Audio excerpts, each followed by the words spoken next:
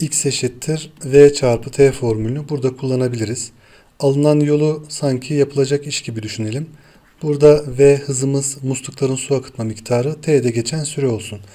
Birincisine baktığımız zaman yapılan iş burada 1, 2, 3, 4, 5, 2 tane de yarım var 6. 6 birimlik hacmi doldurmaktır. Dolayısıyla 6 eşittir.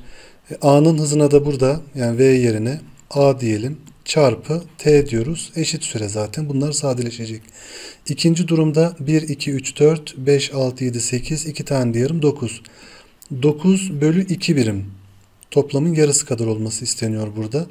Eşittir. Bunun hızına B diyecek olursak yine aynı sürede bu kadar olduğunu düşünelim. Taraf tarafa bölecek olursak T'ler gider. Sadeleştirirsek 2. Burası 3 oldu. Takla atıp yukarı çıktığı zaman 4 bölü 3 eşittir. A bölü B olur.